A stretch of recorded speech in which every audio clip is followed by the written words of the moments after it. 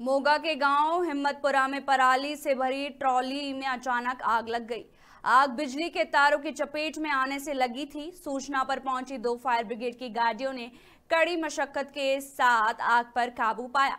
ग्रामीणों ने बताया कि पंजाब सरकार की ओर से किसानों को पराली में आग लगाने से मना किया गया है, जिसके चलते किसानों की ओर से पराली की गांठ बांधकर डंप में भेजी जा रही थी। तभी पराली की भरी ट्रॉली गाँव से गुजरी और बिजली के तारों से चपेट में आ गई। बिजली की तारों की चपेट में आने से पराली में आग लग गई।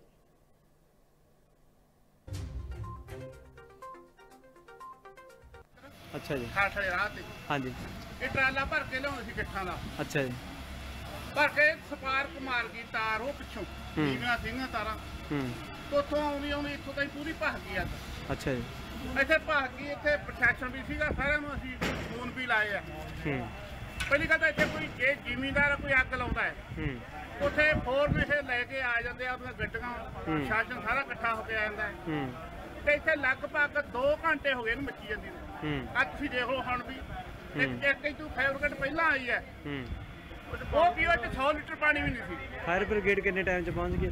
ਉਹ ਘੰਟੇ ਘੰਟੇ ਬਾਅਦ ਪਹੁੰਚੂ ਘੰਟੇ ਜ਼ਿਆਦਾ ਹੀ। ਉਸ ਤੋਂ ਬਾਅਦ 2 ਘੰਟੇ ਹੁਣ ਹੋ ਗਏ। ਹੁਣ ਇਹਨਾਂ ਨੇ ਆ ਹੋਰ ਮੰਗਾਈ ਹੈ ਫਿਰ ਰੇਟ ਜੀ। ਉਹ ਜਿਹੜੀ ਪਹਿਲਾਂ ਵਾਲੀ ਸੀ ਉਹਦੇ ਮੈਨੂੰ ਲੱਗਦਾ 100 ਲੀਟਰ ਪਾਣੀ ਮਸਾ ਹੁਣ। ਉਹ ਬੁਝਾਉਣੀ ਤਾਂ ਕੀ ਸੀ ਉਹਨੂੰ ਉਦੋਂ ਵੀ ਜ਼ਿਆਦਾ ਹਵਾ ਸੀ ਖਣੀ ਕੀ ਸੀ ਉਦੋਂ ਵੀ ਜ਼ਿਆਦਾ ਅੱਗ ਲੱਗ